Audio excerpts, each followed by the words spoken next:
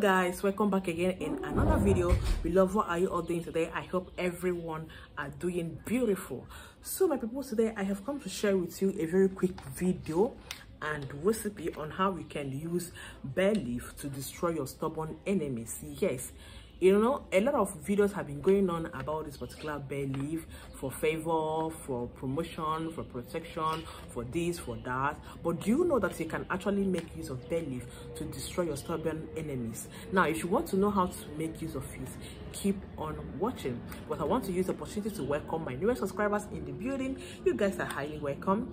To my returning subscribers my returning viewers i love you all. You guys are the reason why i am here today preaching preaching to you okay?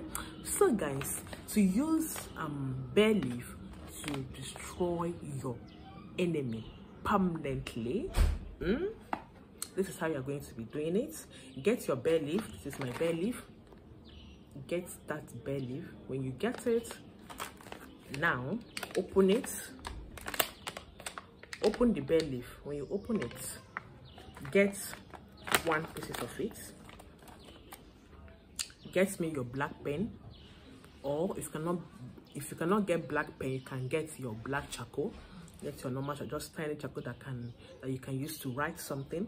Then begin to write if you know the names of your enemy that has become a stumbling block has become a stone in your flesh that says you will not rest begin to write their name. When you write the person's name you write it as well at the back of this bay leaf and then you use your scissors or whatever thing to secure your bay leaf like this and then put light on it.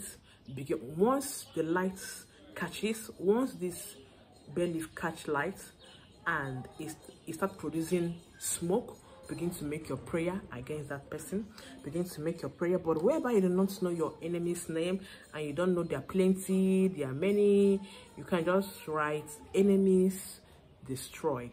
You want your enemy to be destroyed. And then you light this uh, fire and then you begin to make your prayer. Once the smoke begin to come out begin to make your prayer.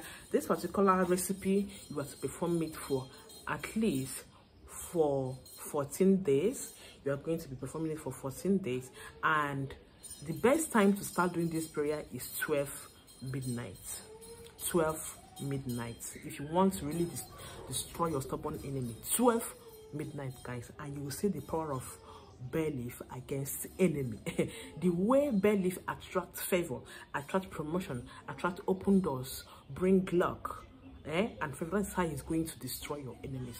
Do not joke with it when you want to use it for a strong enemy because it is working and it works very very fine very effectively.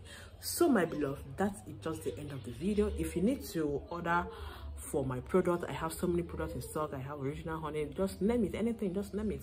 You can just contact the number that is going to be you know appearing at the beginning of this video. I am on whatsapp and then on telegram. See you my lovely people at the on my next on my next um video.